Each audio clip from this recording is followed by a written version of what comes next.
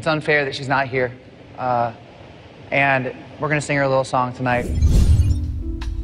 It's been almost a year since YouTube sensation and The Voice contestant Christina Grimmie was fatally shot by a gunman at a fan meet and greet after her concert in Orlando. On last night's Top 12 Results show, Grimmie's former voice coach, Adam Levine, along with his team's three remaining contestants this season, dedicated a special rendition of the Beatles' Hey Jude to the late singer and her family who were sitting in the audience. Grimmie's untimely death at just 22 years old made headlines last June, with many in the music community mourning her loss, including Selena Gomez, Shawn Mendes, Christina Aguilera, Demi Lovato, Blake Shelton, and of course, Adam Levine. The tragic incident also raised awareness about gun violence and security measures between musicians and celebrities and their fans. The Voice host Carson Daly announced the creation of a charity in Christina's name called the Christina Grimmie Foundation, benefiting victims of gun violence and breast cancer.